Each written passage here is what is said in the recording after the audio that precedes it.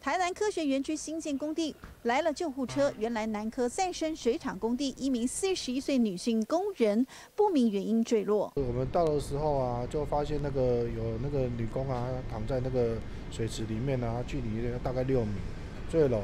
对，只是从上面坠坠落下来，因为下面都没有任何东西。这名女性工人是负责板模材料整理，包商每天都会清点人数。当天上午十点，女子还在；下午一点发现不见踪影，承包商巡查后发现她坠落六米深的水槽内。现场哈，我们已经勒令停工，然后做后续的调查，后续也会要求所有在园区的工程的厂商哦。要加强安全措施。女子因为头部着地当场死亡，为何作业时会从高处坠落？工地是否有安全措施不足问题？将由警方李庆中。大爱新闻台南综合报道。